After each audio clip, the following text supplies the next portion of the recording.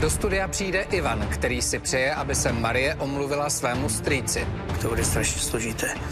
Velmi složité, protože já už jsem se snažil navázat tak s tou rodinou, s paní Marií. Ona je opravdu zatrpklá a nevěří tomu, co jí jsem se snažil říct. Jaký k tomu má důvod? Jaký byl strýc Václav ve vašich očích? Moc se nesnášel s rodinou. V podstatě působil jako negativně. Sledujte dnešní opravdu nebezpečné vztahy. Moje matka se domnívala, že toho mýho otce zabil strýc.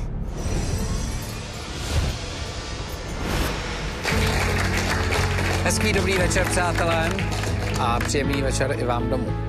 Ivana, i vám. Hezký večer. Hezký večer. Dobrý večer. Jste tady v takové, já bych řekl úplně na začátek, nevím, jestli nelehké úloze, protože na druhé straně jste si to celé vymyslel. To, že tady vlastně budou všichni ti, které jste si pozval. Eh, musím říct na začátek pro vás, což je milé a překvapení se konat nebude, přišli všichni, které jste si přál, dokonce jeden člověk navíc. Tak to mě překvapilo, že přišel navíc, ale jsem rád. Tak.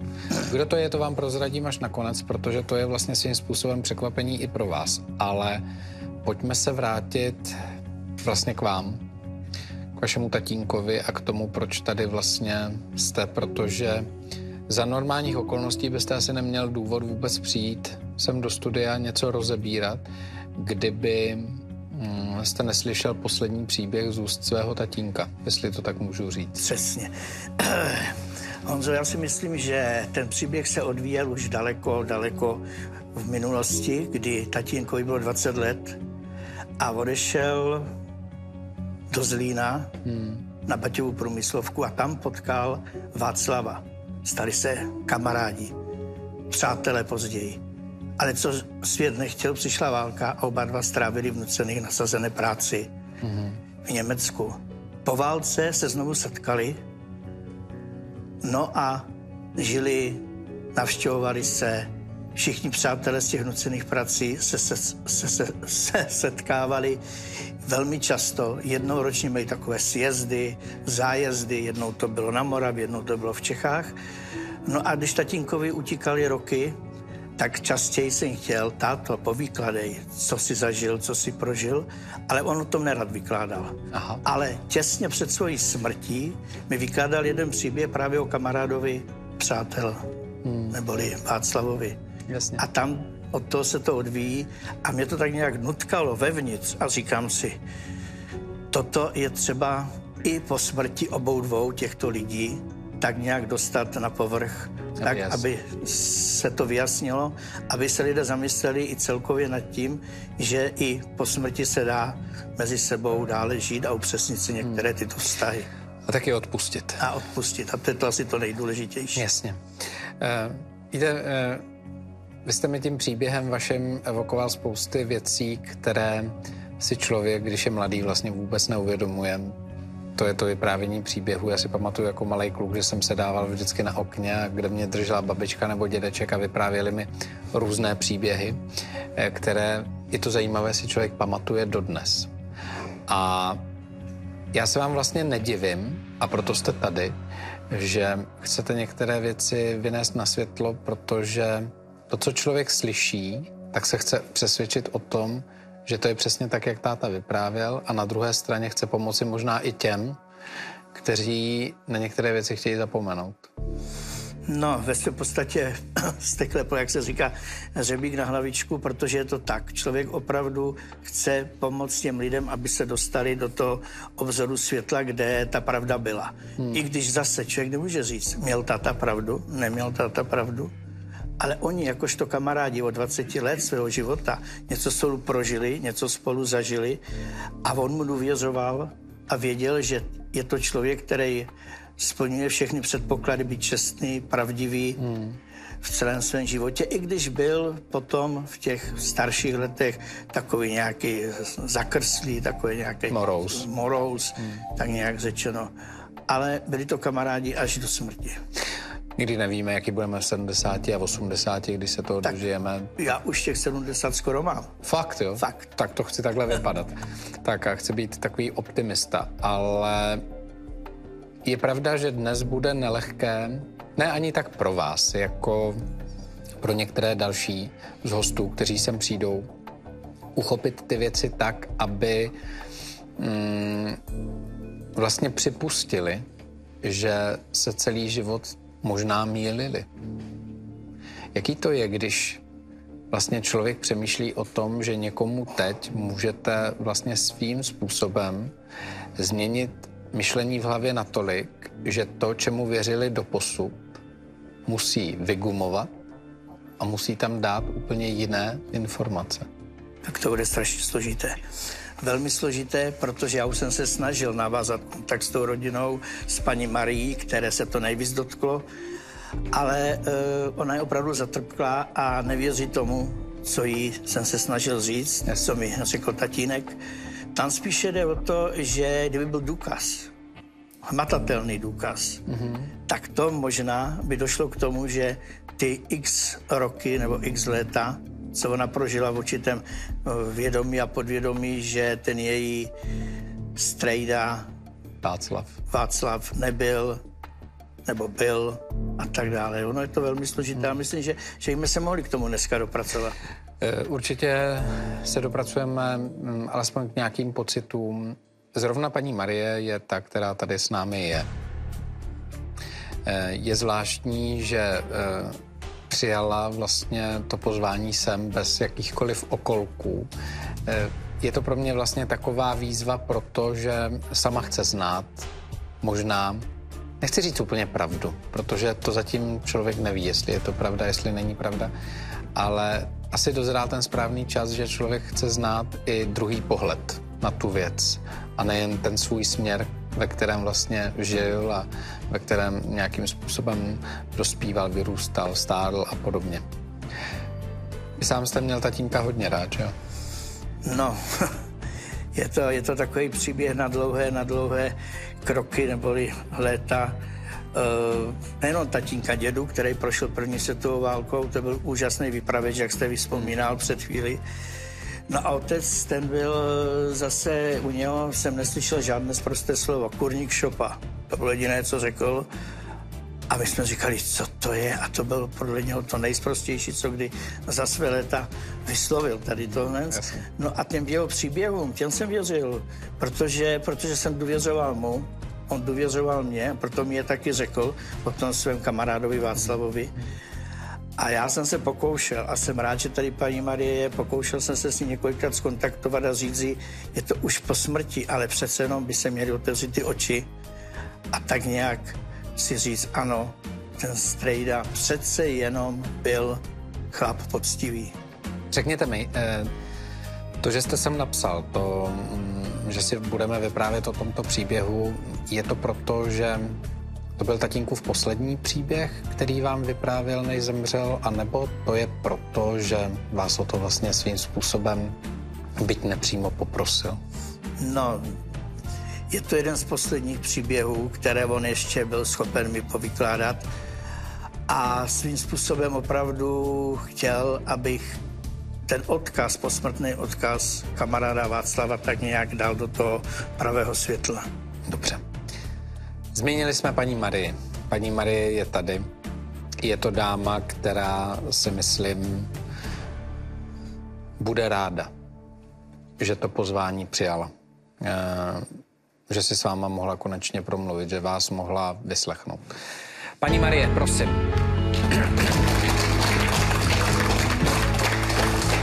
Dobrý večer. Vás zdravím. Já vás taky. Děkuji.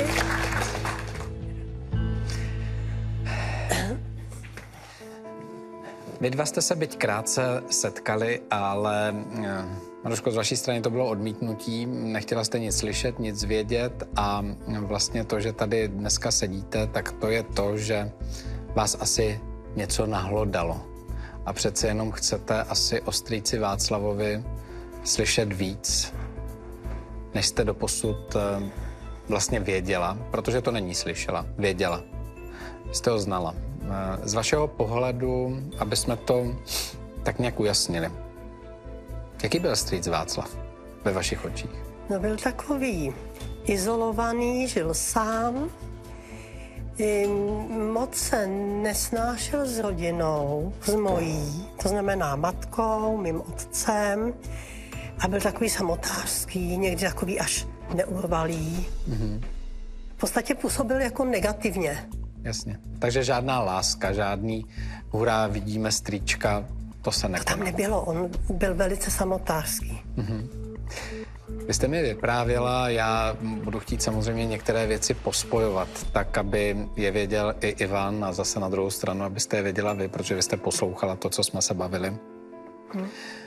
Váš strýček eh, Václav byl vlastně hodně majetný, no, možná tím, že byl sám. Eh, on byl taky hodně vlivný, měl spousty, vlivný. spousty kontaktů. Ano, Jste říkala, že dokonce, co se týká rodiny, tak z něho šel i strach. Ano, to je můj pocit. Nebo celé té možná mojí rodiny, že šel z něho i strach. Byl to takový člověk asi tím vlivem a tím, že tehda, když eh, v té době, kdy byl člověk bohatý a vlivný, tak v podstatě mohl téměř všechno. Tak Myslím, že to zůstalo dodnes. Já tak. chtěla jsem to říkat, ale ano. Tak. Eh, historie se opakuje. Ano, historie se opakuje, přesto všechno zůstaneme u vašeho strýce. U vás v rodině se vlastně stala věc, která je tou nepříjemnou, než se k ní úplně dostaneme, tak eh, musíme říct, že ať se v rodině dělo cokoliv, tak eh, vlastně vaše maminka tak eh, strýce navštěvovala i v těch dobách, které už nebyly příjemné pro vás jako pro rodinu. Vy jste tam jezdívala s ní a taky musím zmínit, že i vy sama už máte dceru která je dospělá. Uh-huh. Mimochodem, ta se tady objeví, což já jsem tušil, že vám to neřekne, ale dobře, je to pro vás překvapení, přijde i, i vaše dcera. Pojďte mi říct, co se vlastně u vás v rodině stalo. A můžeme to vzít od počátku, od chvíle, kdy se váš tatínek rozhodl, že emigrujete. No, můj otec se vlastně rozhodl, že emigrujeme jako rodina. Ano. Jelikož my jsme tady neměli, my jsme se tady neměli moc dobře, mhm. takže tím jako by to vyřešil. A za dlouho poté, co jsme o tom mluvili, probíralo se to v rodině, tak se stala, říká se mi to strašně těžko ještě dnes, ale hrozná věc, že mýho otce někdo zabil. V době, kdy jsme se rozhodovali o té migraci. A tehdy moje matka se domnívala, a já jsem to převzala vlastně, že toho mýho otce zabil strýc o kterém tady byla zmínka. Jasně. Strýc Václav. Strýc Václav, ano. My tady máme teď doslova do písmene ty dvě misky vach. Na jedné straně je tady Ivan, který vašeho strýce neznal ano. a zná ho jenom z vyprávění od svého vlastního tatínka.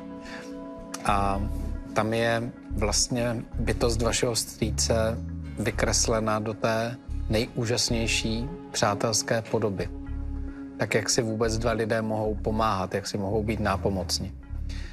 Pak je tady přesně ta druhá miska vach a to je to, co vy jste prožila.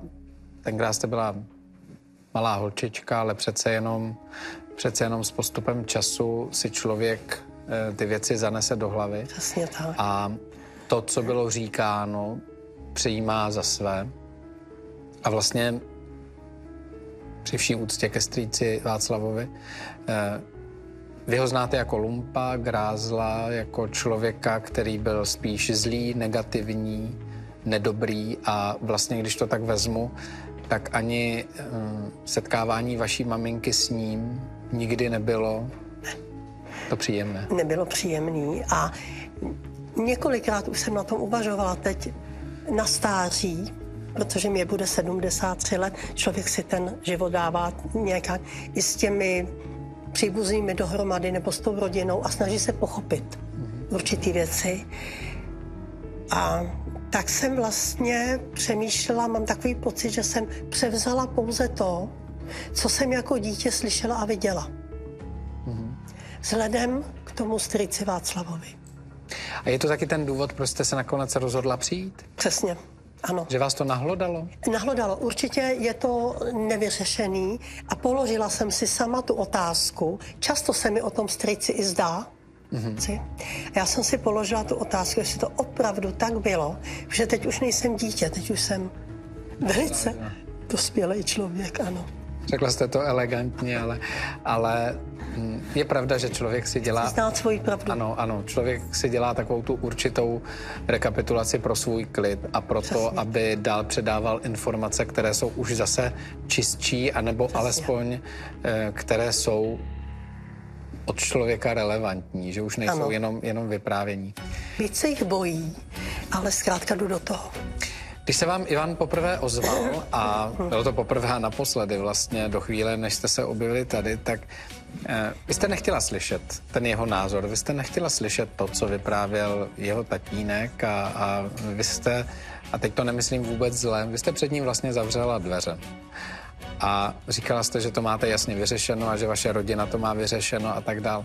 Byl to přesně ten spouštěcí moment, kdy jste zavřela před Ivanem dveře, kdy jste si řekla, když už ten chlap přišel, když už vážil takovou cestu, když už někdo vyprávěl něco jiného, tak je to to, co se musí nějakým způsobem vyřešit, že vám to vnese takovýto pomyslný světlo do těch vašich myšlenek? Ano, zavřela jsem dveře, protože pro mě to bylo otevření něčeho, co je pro mě nepříjemný a co už jsem myslela, že je jakoby pase, takzvaně.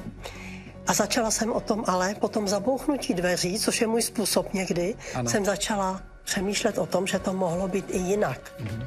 A že bych byla docela i ráda, kdybych se dozvěděla lepší pravdu, než kterou v sobě nesu. Tu lepší pravdu vám úplně eh, zaručit nemůžu, protože nevím, co je pro druhého člověka lepší nebo horší pravda. Ano. Nevím. Co vám můžu říct už teď na začátku, je to, že mý kolegové tentokrát neměli vůbec lehký úkol. Díky Ivanovi, díky jeho příběhu, díky jeho vyprávění, které i v psané formě bylo velice elegantní, tak se rozjela velká mašinérie toho, co by se dalo dohledat, protože přece jenom už je to spousty let. No to je. Ale mm, přece jenom něco ano. Něco ano. Uvidíme. Já jsem říkal, že tady je vaše dcera. Řekněte mi o ní něco. Jaká je? Je to hodná citlivá holka. Po mamince? Víte, ono o sobě se těžko mluví. Ehm, máte volbu. Může být po mamince nebo po tatínkovi. Mohl být... Obojí, obojí, tak. z každého má. Z každého má něco. Z nás má něco, ano. Ehm, Radana tady je, protože samozřejmě eh, ty věci, které se dějí v rodinách, se přenášejí z generace na generaci, ať to chceme Určitě. nebo nechceme. Člověk zná historii rodiny, zná ta vyprávění, která jsou. Eh, pro vás, Ivane, bude setkání s Radanou poprvé, protože tu jste ještě, tu jste ještě neviděl.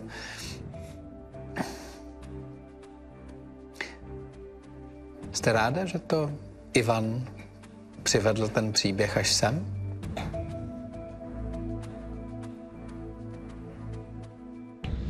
Stavím se k tomu čelem. To jsem rád. Vaše dcera je tady, vaši dceru si pozveme. Radano. Já vás zdravím. Dobrý večer. Dobrý večer. Úplně vás odhazují k jiné generaci a úplně do jiné doby, eh, kterou znáte opravdu jenom, jenom z vyprávění a vlastně strýce eh, Václava jste víceméně už nepoznala, protože jenom to vyprávění, které je, to je jedna etapa, to, že člověk ví a, a třeba některé věci zažívá a prožívá, to je ta druhá etapa. To, že možná někdy o věcech přemýšlí nebo pláče nebo vidí někoho plakat, to je ta, to je ta další situace. Přece jenom, já jsem říkal, že lidé jsou spolu v kontaktu a je jedno, jestli se spolu hádají nebo jestli se spolu nějakým způsobem přou. Je jedno, jestli je to o peníze, o majetek, jestli je to o minulost. Co vy nám můžete říct ke strýci Václavovi? No takhle, já jsem ho spíš víceméně neznala, znám to spíš z vyprávění maminky, že vlastně se to nějak eh, delší dobu snaží pořád řešit, snaží přijít na to, co se vlastně stalo, proč se to stalo. Takže vlastně já spíš jenom, že mě trápí vlastně, že maminku to trápí, že mm jí nedokážu s tímhle pomoct, že prostě... Vy jste určitě slyšela všechny ty historky, které maminka vypráví. Nakonec já to vím od maminky taky, jak svoji maminku vozila ke strýci a, a jak vždycky, protože maminka, eh, vaše babička vlastně neměla řidičák, tak maminka, když ji tam odvážela, tak když jeli zpátky, kromě toho, že se se strýcem vždycky maminka hádala, tak eh, vy jste říkala, že vždycky plakala celou cestu zpátky. To je asi pro mladou dívku vidět plakat maminku mm, vždycky problém. A je jedno, jestli vy vidíte plakat svoji maminku, nebo vaše maminka viděla plakat je to hrozný, no. svoji maminku. Myslíte si, že ten dnešek eh,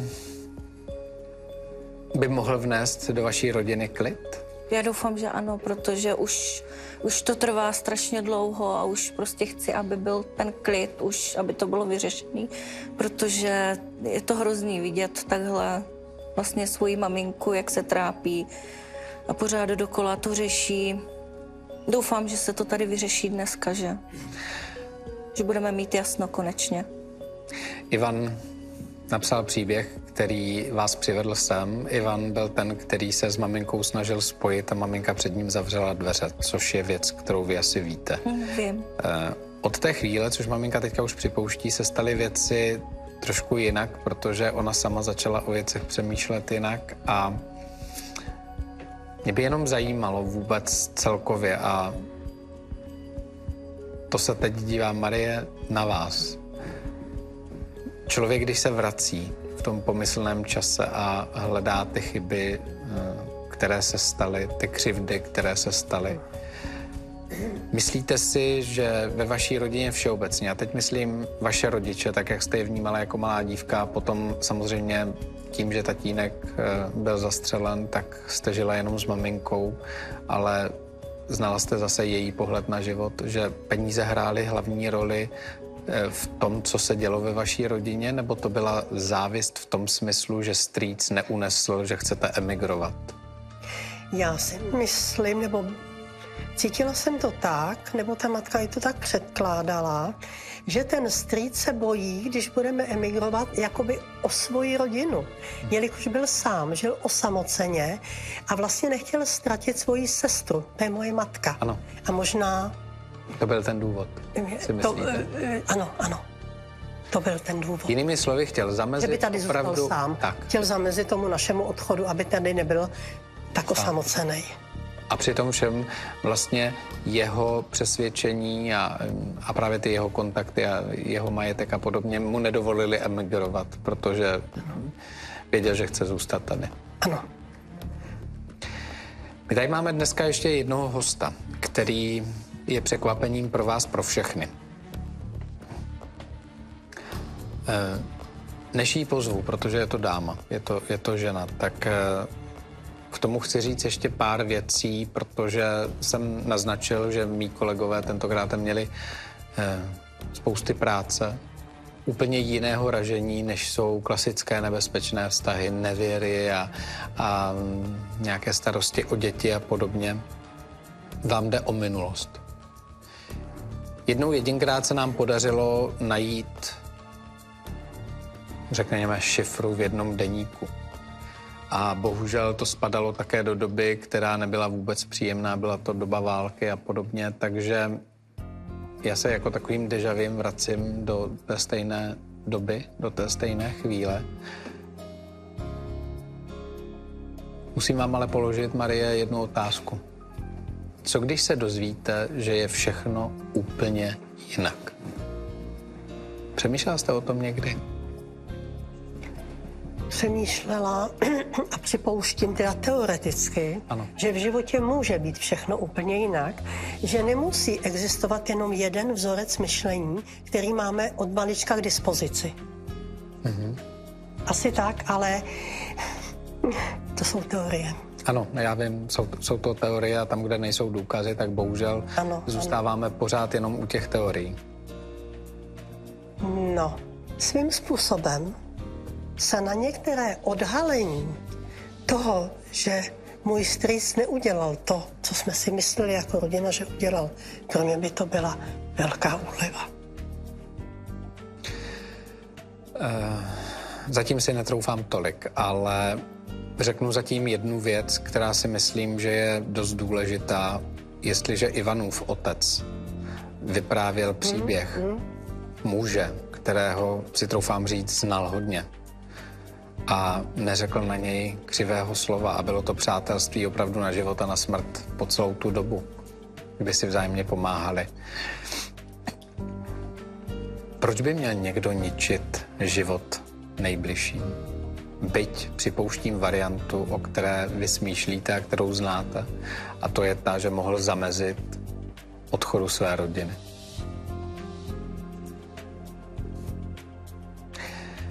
No, nebudu vás napínat. Je tady žena, která má ryze české jméno. Je tady Lenka. Leni.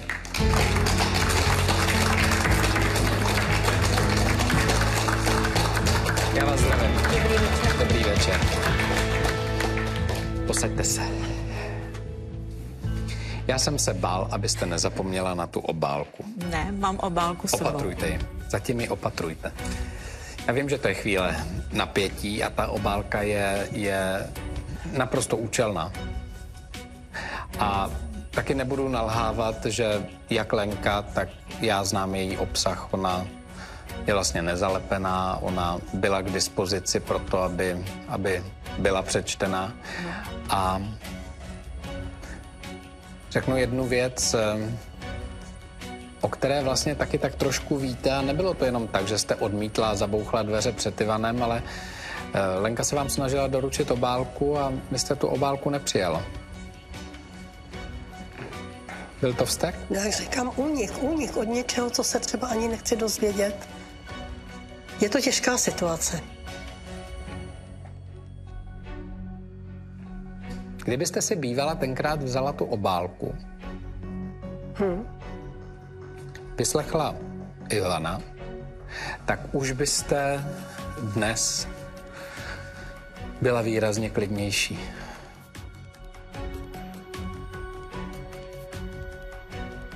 Vy mě napínáte. Já vím, že jste napnutá a musím říct upřímně, že si vás teď opravdu vychutnávám v tom dobrém slova smyslu, ale v tom dobrém slova smyslu. Je to napínání proto, aby člověk, alespoň se to říká, člověk, když je v napětí, tak eh, ty závity začnou pracovat úplně jinak.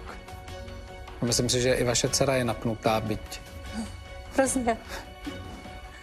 je to taková ta obyčejná lidská zvědavost, já to, já to vím. Takže, Natalko, pojď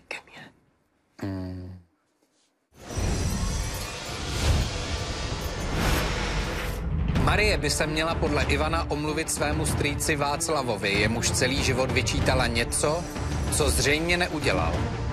Moje matka se domnívala, a já jsem to převzala vlastně, že toho mýho otce zabil strýc. Bylo by dobré konečně mu vrátit dobrou pověst a čistý štít.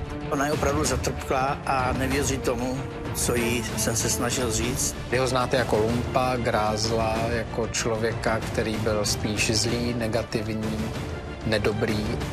Co když se dozvíte, že je všechno úplně jinak? Přemýšlel jste o tom někdy? Pro mě by to byla velká úleva. Sledujte dnešní nebezpečné vztahy.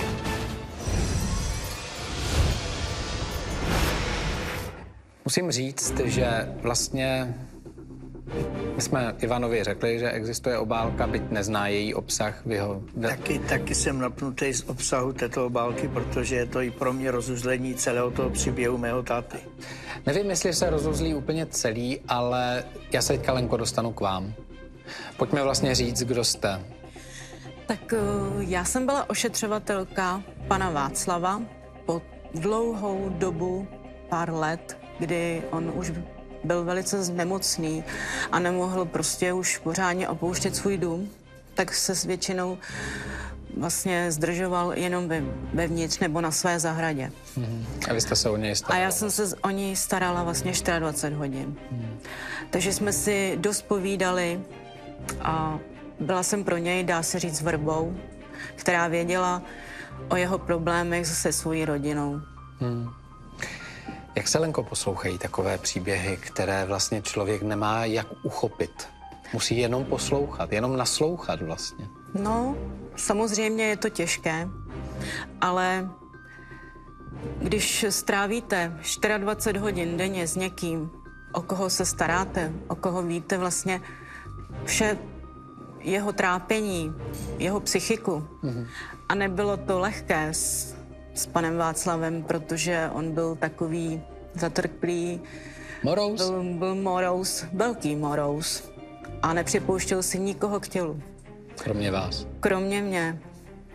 A vlastně jsem tím pádem měla k němu daleko blíž hmm. než lidi okolo něho. Že? Nevíte, eh, nebo nenapadlo vás, čím jste si získala tu důvěru? Bylo to tím, že jste ošetřovatelkou a že jste si vlastně tak nějak jako byli souzeni, nebo to byla náhoda i souznění duší, že, že prostě vám uvěřil, protože... Samozřejmě to bylo tím, že jsem se o něj starala, že jo. Ale hlavně jsem mu připomínala jeho dalekou lásku. A zřejmě to bylo to nejdůležitější. To pádný, no. Vy jste mi říkala, že ho nejvíc trápilo to, že vlastně je sám, že když umře, tak eh, spousta věcí zůstane otevřených a, a že vlastně peníze, které má, majetek, který má, tak nikomu nepřipadne, protože ano. se o něj nikdo nezajímá. Ano. A toho také trápilo. Samozřejmě starý člověk přemýšlí úplně jinak než mladý, že jo. Hmm. A neměl své děti, neměl manželku, neměl vlastně nikoho, protože celý život žil prostě úplně jinou dobu, úplně jiným vztahem, jinou dobou. A snažil se prostě každému dát najevo svoji pravdu. Ale nikdo ho nechtěl poslouchat, hmm. protože ho všichni odepsali, že si mysleli, že vlastně zabil svého švagra. Ano, své, svého švagra, osobu, která měla své, své přátelé a svoji rodinu. On o tom takhle dokázal normálně mluvit? Jako, ano. Že, že fakt ho Ale samozřejmě trápil? jenom s někým a hlavně teda se mnou. Protože já jediná jsem ho poslouchala. Říkal jsem, že jste se snažila doručit dopis. Ten dopis ano. jste se snažila doručit, eh, nedoručila. Marie. Tak, nedoručila, nešlo to. Eh, máte ho znovu ve své ruce. Ano. Byť je už dneska, koukám v náhradní obálce, ano. Ale, ale to nevadí. Ehm, já vím, že teďka všechny napínáme, ale já, jestli dovolíte, tak já to budu dělit trošku po částech, ano. protože ten obsah není zas tak moc složitý. A začnu tím snažím. Vy jako malá holčička jste ke, ke strýcovi jezdila strašně nerada s maminkou. Jste to tam vůbec neměla ráda, protože se tam všichni jenom hádali a, a no, bylo to pro vás nepříjemné místo. Byť to byl krásný dům, krásná zahrada. Ano, ale nebylo to tam. Skutečně i teď to cítím, takový ten strach, mm-hmm. neurčitý, ne nepohodu.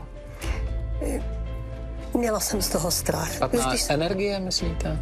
Prosím? Špatná ener- energie? Ano, myslíte? ano, celkově. Ano, celkově. I ty hádky hmm. mojí matky s tím strýcem hmm. a vlastně i výčitky, že on mýho otce zabil. A to bylo pořád se dohodlo a pro mě jako pro holku malou to bylo takový, že vlastně já jsem toho otce měla ráda a nevěděla jsem, nemohla jsem to řešit. A maminka se tím trápila. No a v podstatě ano, ano, trápila, ale zdálo se, že má pravdu. Mm-hmm. Že chce mít svoji pravdu, nebo má svoji pravdu, já nevím ještě. Jasně. Tak já to vezmu úplně z jiného konce.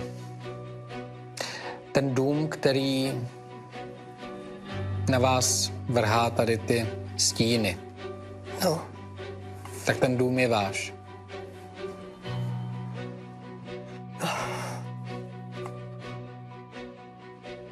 Strýc vám ho odkázal.